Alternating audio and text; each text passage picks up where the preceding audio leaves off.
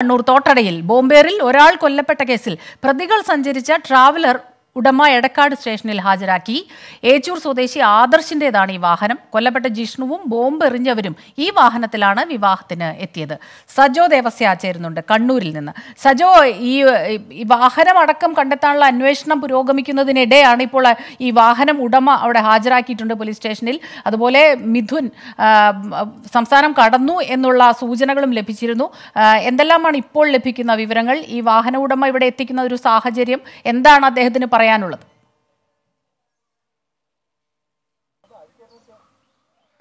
സ്മിത കണ്ണൂർ തോട്ടടയിൽ വിവാഹാഘോഷത്തിനിടെ ബോംബ് സ്ഫോടനത്തിൽ യുവാവ് കൊല്ലപ്പെട്ട സംഭവത്തിലാണ് ഇപ്പോൾ നിർണായകമായ ഒരു നടപടിയും എടക്കാട് പോലീസിന്റെ ഭാഗത്തു നിന്നുണ്ടായിരിക്കുന്നത് ഈ പ്രതികൾ ഏച്ചൂരിൽ നിന്ന് ഒരു ട്രാവലർ വാഹനം ബുക്ക് ചെയ്ത് അതിലാണ് പതിനേഴംഗ സംഘം തോട്ടടയിലെ വിവാഹ സ്ഥലത്തേക്ക് എത്തിയത്.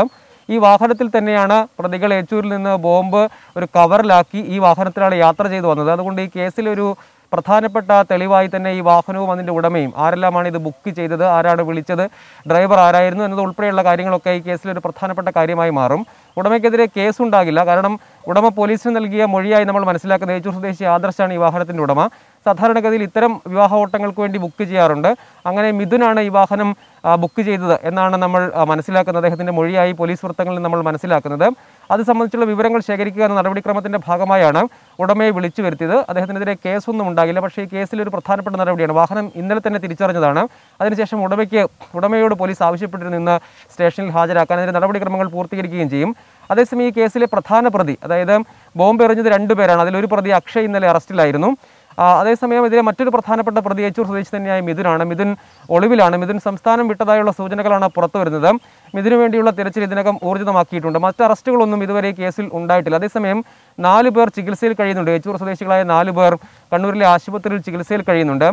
അവരെ ഡിസ്ചാർജ് ചെയ്തിട്ടില്ല. ഡിസ്ചാർജ് ചെയ്താൽ അവരെ കൂടി പോലീസ് കസ്റ്റഡിയിലെടുക്കും എന്നാണ് നമുക്ക് ലഭ്യമാകുന്ന വിവരം. എല്ലാ പ്രതികളെയും അതായത് പതിനേഴംഗ സംഘമാണ് വന്നത്. അവരെല്ലാവരും പ്രതികളാകില്ല എന്ന് പോലീസ് സ്ഥിരീകരിച്ചിട്ടുണ്ട്. എല്ലാവർക്കും ഇത് സംബന്ധിച്ച് അറിവുണ്ടായിരുന്നില്ല. അതായത് ഈ പ്രതികൾ ബോംബ് ഉണ്ടാക്കി അത് സൂക്ഷിച്ചിരുന്നു. അവരുടെ കൈവശം ഉണ്ടായിരുന്ന വിവരം വാഹനത്തിലുണ്ടായിരുന്ന എല്ലാവർക്കും അറിവില്ലായിരുന്നു എന്നതാണ് പോലീസ് ഇപ്പോൾ പറയുന്ന ഒരു പ്രധാനപ്പെട്ട കാര്യം. അതുകൊണ്ട് പതിനേഴ് പേരും ഈ കേസിൽ പ്രതികളാകില്ല. അതേസമയം ഈ കൊല്ലപ്പെട്ട ജിഷ്ണുവിനും ഒപ്പം അക്ഷയ്ക്കും മിഥുനുമൊക്കെ ഈ ബോംബിനെ കുറിച്ച് അറിയാമായിരുന്നു. ഇവരോടൊപ്പം മറ്റു ചിലർ കൂടിയും ഇതിനെക്കുറിച്ച് അറിയാമായിരുന്നു. എല്ലാവർക്കും അറിയില്ലായിരുന്നു. ആകെ പ്രാഥമിക പ്രതി പ്രതികളായി അഞ്ചു പേരെയാണ് പോലീസ് തിരിച്ചറിഞ്ഞിരിക്കുന്നത്. ഒരാളുടെ അറസ്റ്റ് രേഖപ്പെടുത്തി മിഥുൻ ഒളിവിലുമാണ്.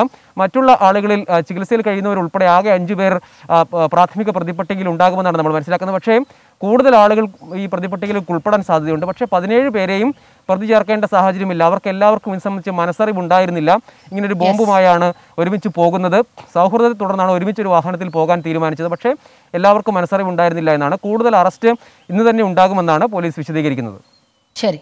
സജോ ദേവസ്യാണ് കണ്ണൂരിൽ നിന്നും ഈ വാർത്തയുടെ വിശദാംശങ്ങളുമായി ചേർന്നത്. ലോകത്തെവിടെയായാലും ഏത് സമയത്തും ട്വന്റി ഫോർ വാർത്തകളും ഓക്മെന്റഡ് റിയാലിറ്റി പാക്കേജുകളും എക്സ്പ്ലെയിനറുകളും വിശദമായി കാണാൻ ഞങ്ങളുടെ യൂട്യൂബ് ചാനൽ നിങ്ങൾക്ക് സബ്സ്ക്രൈബ് ചെയ്യാം.